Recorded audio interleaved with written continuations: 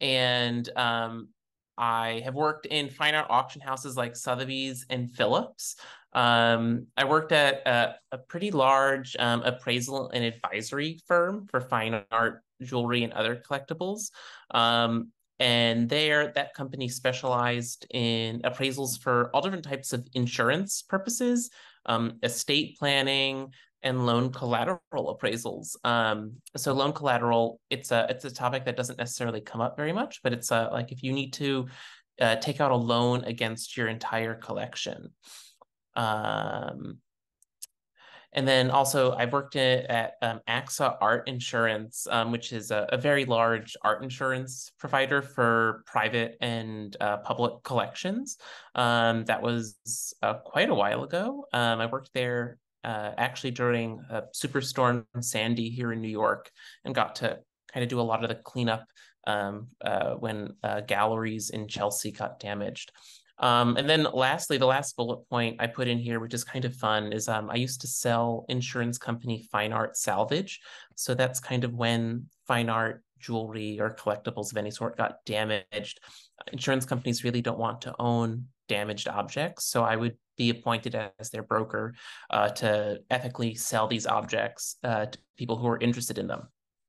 Um, I also don't know why I wrote this in the third person, but I did. But currently, I spearhead a cutting edge uh, digital first uh, insurance product for collectible watches. Um, it's called Hodinkee Insurance. If you want to Google it and sign up, I'm always looking for new clients. Um, and we're uh, going to be expanding into different collecting categories imminently. Uh, so keep an eye out for an announcement from us uh, probably on Monday. Um, I also dropped a term called USPAP in the last slide, which is um, uh, basically kind of like the minimum standard for what um, an appraiser, at least in the United States, uh, should be. Um, USPAP, um, it's kind of a, a, weird word, but it stands for Uniform Standards of Professional Appraisal Practice. Uh, it's a set of standards and guidelines that government uh, that govern the appraisal profession here in the U.S. Um, it basically uh, was established to promote and maintain a high level of professionalism, consistency, and ethics within the appraisal industry. Uh, essentially, it sets guidelines for what uh, an appraiser needs to do from a methodology perspective and what an appraisal report should include. Uh, it really is there to uh, bolster the public trust. Um, the USPAP, while it is a United States-based uh, set of standards, uh, really um, it is adopted as the uh, the the framework within a lot of uh, within which a lot of other appraisers internationally work within. Um, so, to my knowledge, there's no real proxy to this in um, Asia, Africa, South America, um, or or really the EU. Um, but um, whenever I've worked on uh, appraiser appraisals within those geographic uh, boundaries, uh, we still follow USPAP. Uh, just because the standard is generally considered to be uh, one that's recognized. Um, so now I want to move on to like what types of appraisals are there. Um, so a USPAP compliant appraiser can generate a lot of different types of appraisals. Um, and before taking on a project, uh, an appraiser will ask you a lot of questions to determine like what type of um, report is good for you.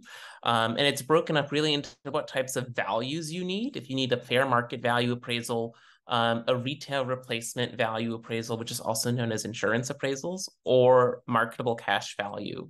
Um, underneath fair market value, you've got things for estate planning. So let's say you are uh, trying to prepare for the inevitable, or uh, you do pass away, your uh, beneficiaries or your executor has to then obtain an estate appraisal to value basically the contents of your life.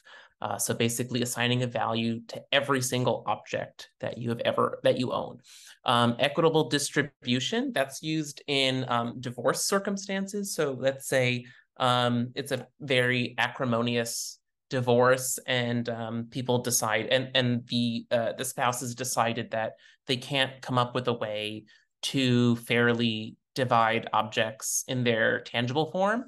They would rather just uh, liquidate everything. So really an equitable distribution appraisal is then called upon to uh, value, similar to an estate, estate planning appraisal, everything within the home.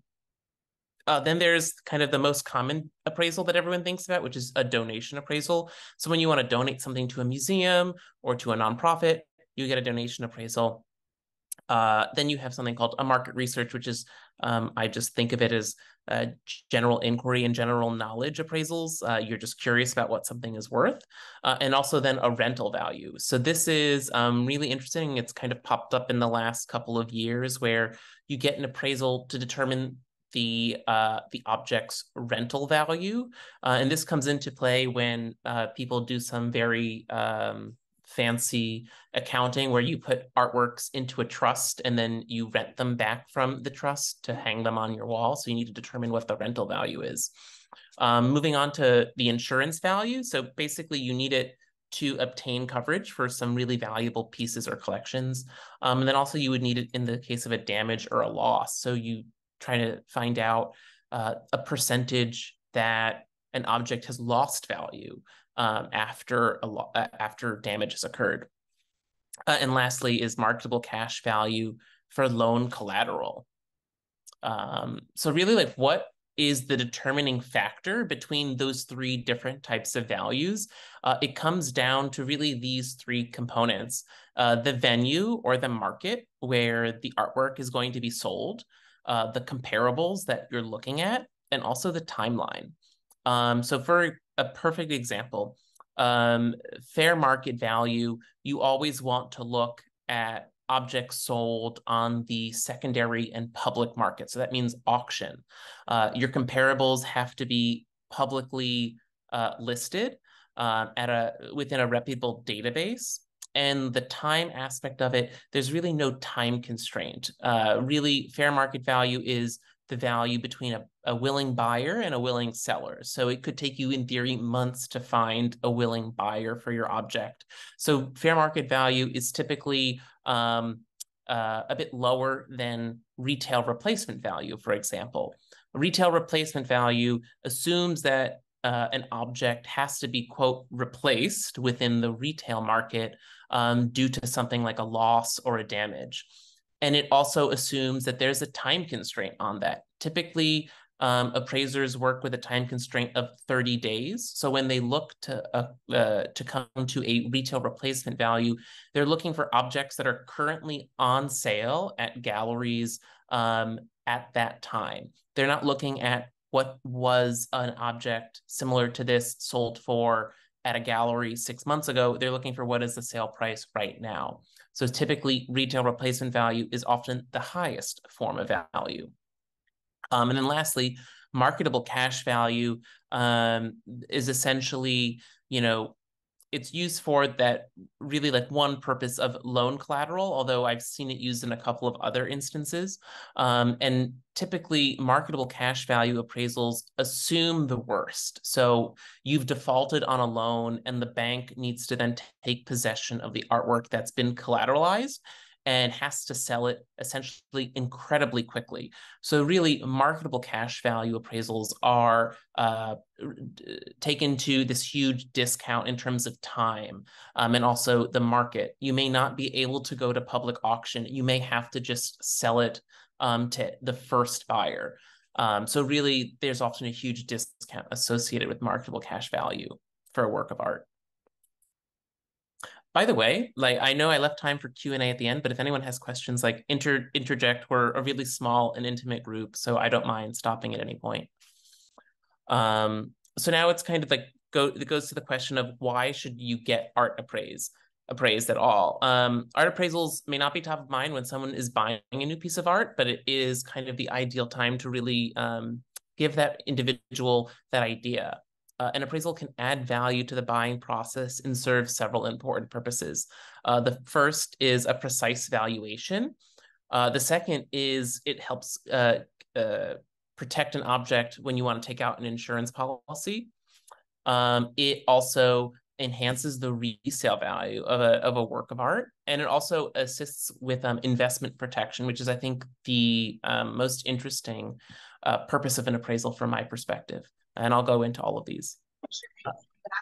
So um, a precise valuation um, is at the point of sale or during negotiations, a, a seller may offer to include a complimentary appraisal of the item being sold as a, as a vote of confidence that their asking price is, a, is appropriate.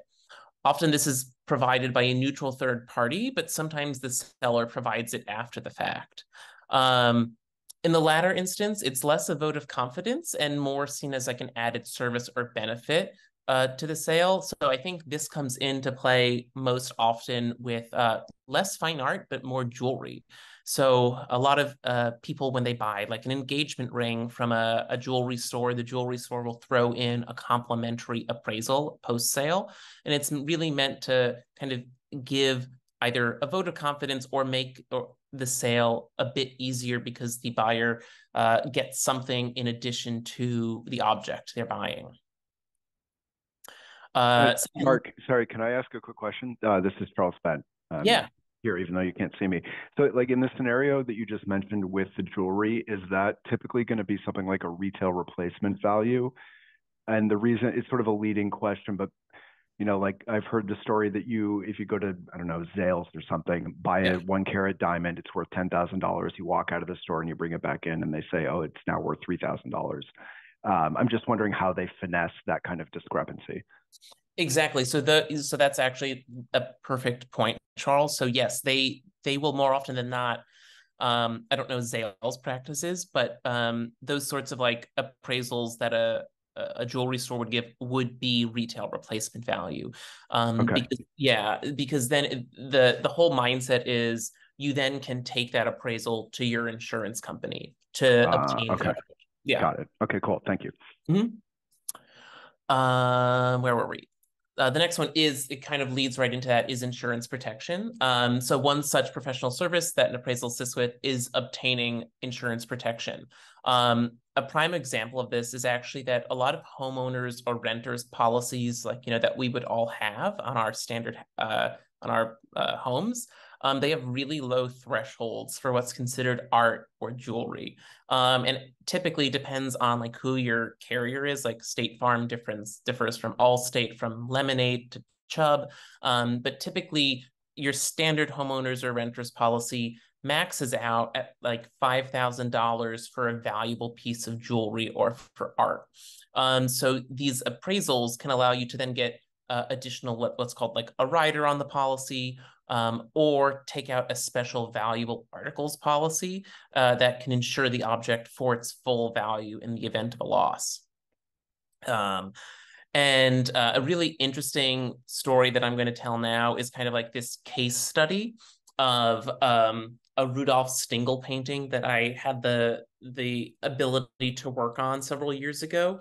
Um, so for kind of everyone in in the group here, um, Rudolf Stingel um, is a contemporary artist. He's still alive. He's known for these large scale uh, paintings. They're called like carpet paintings because they have like carpet like patterns on them.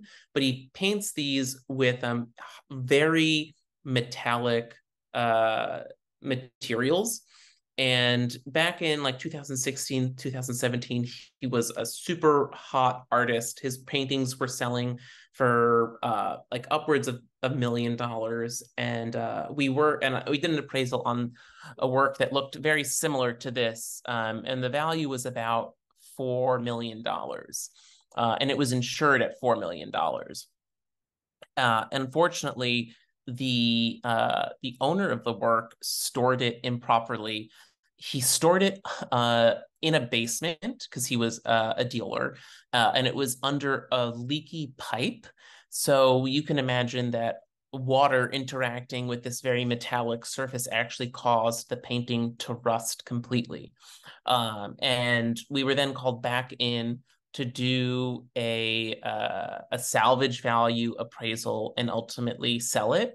Does anyone want to take a stab at what the uh, the salvage value was calculated at? One million dollars. Okay, well, I got. I have one million. uh, it was actually calculated at uh, much lower than that. So it was very uh, it was kind of jarring, but the salvage value was unfortunately only four hundred thousand dollars. Um, so basically, what then happens in that situation is because the customer or the owner insured it at four million, they got paid four million dollars by the insurance company, but the insurance company then had to sell it for four hundred thousand dollars. So um, it really. Oh, Kirby was close. Sorry, she she suggested five hundred k. Oh, he or she. Sorry, he or she. yeah, five hundred. Yeah, Kirby. Okay, Kirby, you're close. So yeah, so it's um, you know, I just I pulled this example really to kind of show that you know you could be dealing with the same work of art but when you look at it through different lenses and different circumstances the value that is um uh, that it is appraised to be can be completely different um uh, so the next reason you get an appraisal, switching topics here, is like to enhance the resale value. So this kind of gets to Charles your earlier point of like, well, you know, does Zales give appraisals at the point of sale, you know, to enhance the resale value? The answer for that is no. Um, so while not a requirement by any means to resell artworks or collectibles on the secondary market, appraisals can help enhance the price you ask. Um, for example, uh, John is on the market to purchase a painting by a well-known artist. Mm-hmm. John found several paintings by the artist for resale on a reputable online marketplace, all within his budget and parameters. However, mm-hmm. only one painting is accompanied by a previous appraisal from when the current owner purchased it. And uh, John chose that painting to buy because the appraisal assists with provenance verification should he ever need it. So um, just having an appraisal on hand serves as kind of um, it, it, it's essentially a paper trail that future buyers uh, and future sellers can use should they ever need it. Marc, if I can just ask one clarification, sorry to hold everyone up, but uh, so like in that scenario, uh, when you initially said it, I was thinking that the appraisal function would be to give the like the proposed buyer sort of peace of mind that there's like an independent entity verifying its like market value. But if I'm hearing you right, that is partly true, but it's more an issue of the diligence that is done by the appraiser for that artwork in terms of like authenticity, title, import, export, what have you, that they can feel uh, confident knowing that it's an authentic work, like in certain condition, and that it's been passed like through the chain of custody in a legal way. Yeah, so like I think even looking at it from like a, a bit like a, of a higher level, Charles is like it, it it just means that like a third party with expertise in the subject matter has mm-hmm. has looked at has examined the work and has researched it. Okay. Um, appraisal appraisers like can't authenticate work. Um, we mm. like there have been a lot of people who have gotten hot, into hot water for okay. even attempting that, mm-hmm. but really it's just you know it, it's proving that a third party with knowledge and expertise has vetted it in some capacity. Um, okay. Yeah. So cool. yeah, exactly. Right. Thanks. Yeah. Um, and then lastly, which is the most interesting purpose of an appraisal, in my opinion, is investment protection. Um, so, in an ever changing market where alternative assets are gaining popularity, how do you make sure your art collection isn't subject to the same volatile market forces? Um, and the best example I have of this is actually the artist Keith Haring. Um, so, you know, I just pulled this quick snapshot of public sales records from Artsy of Keith Haring works. And you can see that um, in early February of 2020 uh, of 2012, Keith Harings were selling pretty good. They were selling either at or slightly above its their estimates. But then come the April sales season in 2012, they all just started to buy in. And why is that? And that's because um, the Keith Haring Foundation around that time or just before those auctions had announced that they would stop authenticating Keith Haring works. So essentially, the market negatively reacted to this announcement that the that the authentication committee would stop uh, uh, basically blessing all Keith Haring works as authentic. Um, so what does this mean and how does an appraisal help with this? Well, the appraisal wouldn't help you sell the work on the public market and achieve a certain price, but it would assist you in the event of a loss of that work of art, where if you had an appraisal solidifying your Keith Haring's value at those pre-market levels, at at the time of a loss after this announcement, you would be guaranteed to be paid out that pre-announcement level. Whereas if you didn't have an appraisal, um, your uh, appraiser would then have to look at the recent news within the marketplace of authentication. So it's um it's really just this interesting use of an appraisal uh, to kind of hedge against secondary market forces by using insurance values. Uh, uh, sorry, Marc, it's me again. Um, no, it's I, fine. no, no, I want I want questions. I want uh, questions. So this is this is fascinating. Um, the what is the type of appraisal that is used in this case? Yeah, so this is retail replacement value because it's for insurance. Um, and the entire mindset with with this is that um, insurance values and scheduling works of fine art on an insurance policy mm-hmm. is really the only form of quote investment protection that uh, collectors have because you can try to diversify your portfolio among, uh, amongst you know uh, up and coming artists, blue chip artists, mm-hmm. you know, sculptors, works on paper. You can diversify it all you want, but if you're you're still still tied to the auction market and mm-hmm. what the values of the auction market dictate to really impact your um, investment returns. Mm-hmm. And in the event of a loss, uh, your appraiser kind of has to take into consideration the current market. Mm-hmm. However, if you're diligent and get everything appraised for insurance purposes and you schedule everything for insur- on your insurance policy really that insurance policy is the only true form in, of investment protection you could have in the event of a market downturn. Uh, okay so again just um, if i'm hearing you right if you are managing your own collection properly and getting like a sort of standard pro forma updated appraisal on a regular basis you could then use that if you learn that one of the uh, artists in your collection often changes. And then at that point, if you had some sort of insurance policy pre-existing, it would allow you to mark the value to the pre-authenticity change. Is that right? Ex- mm, let's uh, sort of, sort of. It's basically um, it's essentially that getting like this and getting a, a, retail replacement value for insurance mm-hmm. um, allows you to schedule it at that value on your insurance policy. Um, and let's say then the auction market for that same artist or those mm-hmm. or similar works nosedives mm-hmm. after you schedule it on that policy or at any point during the policy's lifetime. Mm-hmm.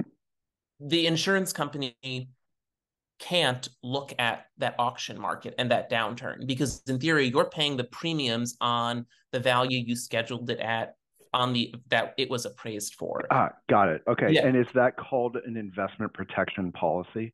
No, no, no. That's that is honestly that's basically just your standard valuable articles policy. Oh um, wow. Okay. Yeah, from like a, a Chubb, an AIG, a Pure, and you're basically just and you're just using a standard retail replacement value appraisal. It's really just it's this this this this mindset that you can use the you can use an insurance policy as investment protection. Yeah, that's super interesting. Okay, now I get it. Thank you. Yeah. No, no, no, no problem. Um, and then you know, essentially, I I wanted to uh kind of provide an example of like what an appraisal looks like. Um, so this is what's called like a, a simplified appraisal report. So it's, you know, typically uh, a simplified report is only a couple pages long. You can get a, a, a standard appraisal is much larger. It's got a lot more, let's call it legalese in the front and in the back. However, um, both this simplified report and the full version are, are both USPAP compliant. The only difference is that all that quote legalese I was mentioning for this simple simplified report is retained by the appraiser in their files um, and can be given upon request. It's just that sometimes clients don't want you know a 25 page document for one or two works being appraised. They're just like, you know, just give me, I just want to see the values. Just show me the values. Um, and then I wanted to kind of like throw this in there um, about like how does like an artist value their art. So it's this isn't really an appraisal, but this is a frequently asked question that I get. Um, so how do artists determine uh, the values for their work and like what it, what are the best practices of there? And really, I kind of give these handful of tips, which is uh, research the market and what your peers are pricing their works at um, take commissions into considerations like if you're if you're working through a gallery or a marketplace you know take those into consideration. Um, the third bullet point is uh, size actually really matters. Um, you may think that uh, a smaller format work is a better example of of your style and, and your practice but really you have to price it accordingly with with a larger work. Like larger works are always assumed to be more expensive than smaller works uh, the fourth bullet point is keep it consistent with minimal fluctuations. Um, a prime example of this is I was actually at um, an open studios for a particular artist um, a couple weeks ago, and I bought a small work about this size. Um, and a friend of mine was considering buying a work that was about double the size, but the price fluctuation was 6x. Um, and ultimately, my friend was like, I don't really, you know, care about how much I like it at this point, I can't justify paying 6x for something that's only double the size. Um, so really take that into consideration, as well as um, looking at and considering feedback um, and willingness to take a discount or adjust a price if you're receiving, um, you know, comments from potential buyers that your prices are out of line. Um, and then how are appraisals used in art or collectible investing? Um, so they play an active role in this. So you can determine, or uh, it's it, helps in determining or verifying an asset's value. Um, it ha- it assists with um, asset allocation decisions. So you know you can figure out if you're too heavily invested in one category versus another um, and also helping to determine when's the most appropriate time to sell. Um, oftentimes, like the appraiser has their pulse on the market, and they can tell you, you know, after a, a report's been completed, they can say something to the extent of, you know, this artist is at their peak. You might consider selling. Um, or this art, you know, they can. It also helps you identify when you've passed a peak of an artist's work because if you're getting um, you know some of the, the the big collectors that i've worked on over the years they get appraisals as often every six months. That's very frequent. I wouldn't suggest doing that for your average individual but they really at that point have a, a, their finger on the market and they can see in real time almost like the fluctuations of a market. Um, an appraisal can also help extract value without selling pieces think uh, you know in terms of collateral loan. Helps with estate planning. Um, obviously insurance covered coverage we talked about and also lastly general housekeeping and collection management. Um, i could not tell you the amount of times clients have referenced actually very old appraisals when they're doing things like moving houses. You know they they give the appraisal over to their movers and they say this is what needs to be packed up and it helps them in getting a quote for a move. Um, it, it's just useful to have an inventory even um, that's pretty much it. Um, you know, I put my email here, which is the email I use for kind of art appraisal inquiries. You're welcome to email me. Um, I want to open up the floor for the last like 15 minutes with any questions. Marc, I definitely have a question. Uh, yes. That's okay. And again, sorry if this isn't uh, broadly sort of relevant to, to everyone here because uh, I'm coming at it from a very targeted perspective. But I just I wanted to sort of hoping that you could shed some light for me on the thought of uh, or the concept of like an appraisal first time versus updating appraisals yeah. and the requirement to be done uh, in person, right? Like in my time at Sotheby's, it was just always hammered into us that firsthand inspection was required and yeah. you know, even if we were moving a valuable painting from the tenth floor to the fifth floor, it would almost have to be formal, like reevaluated by either art handlers or experts. And was just wondering if you had any view on that in terms of like the way that you guys operate. Sorry, not you guys. The way that appraisals are done these days. and then the push into doing everything digitally and like whether there is opportunity to start doing more remote appraisals rather than bringing the object to the expert or vice versa. Yeah. Oh, yeah. So I, I, so I know exactly the angle you're coming at because, uh, like Sotheby's, Christie's, all the major auction houses, their prime, the, the primary appraisal that they're doing all the time is for uh-huh. estate tax purposes. Okay. So the IRS in those instances will usually require the object be seen. Um, okay.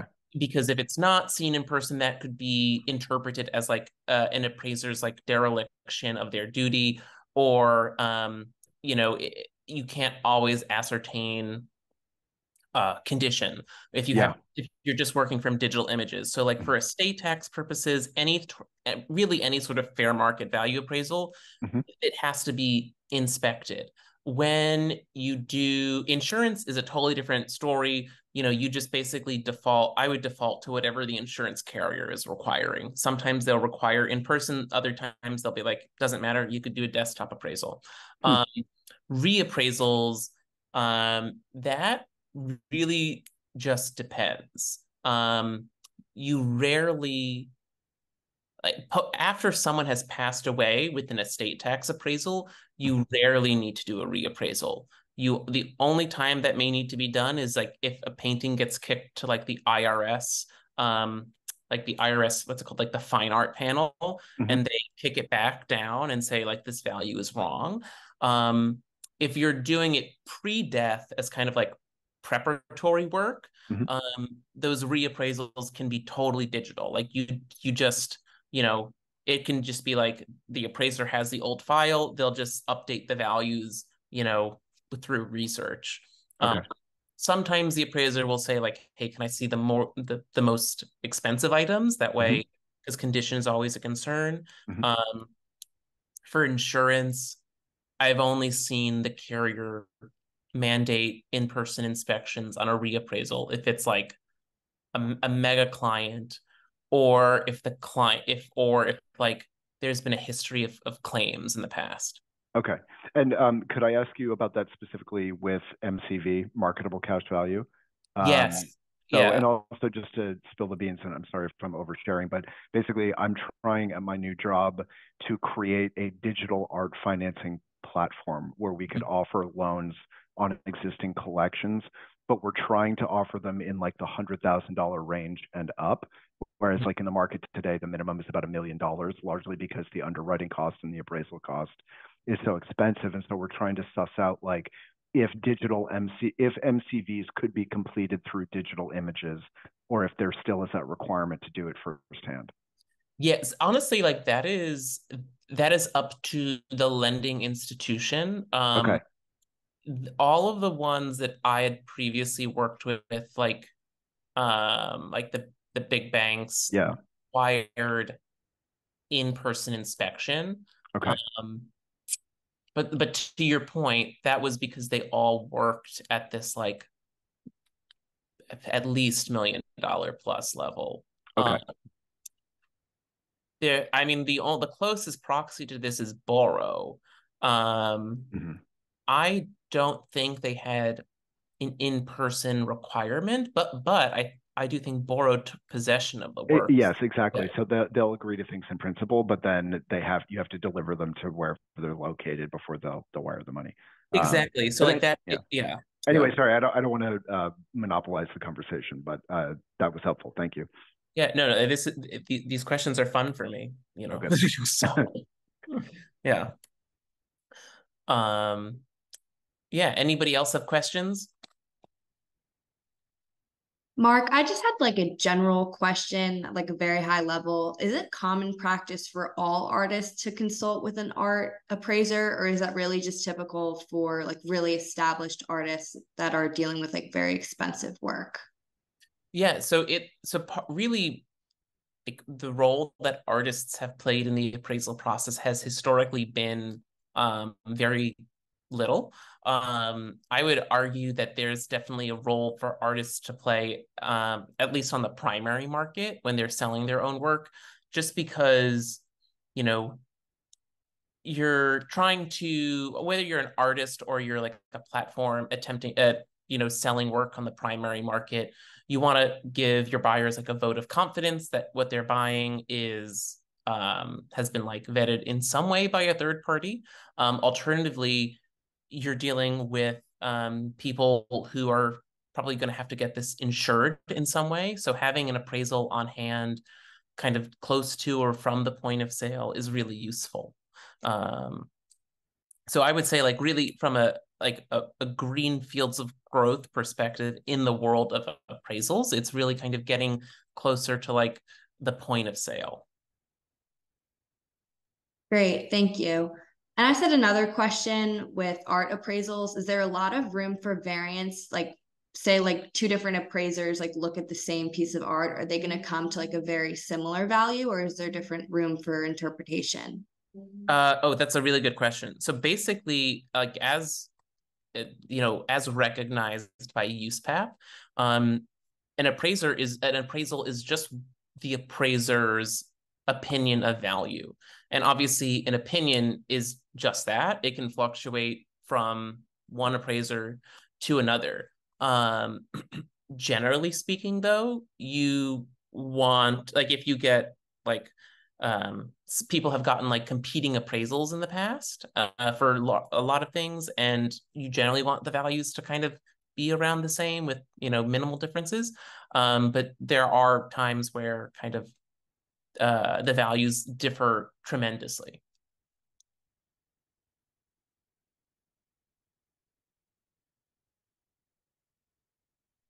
Awesome. Well, if no one's got any other questions, we're I'm happy to kind of give everyone back the last five minutes. Awesome. Thanks, everyone.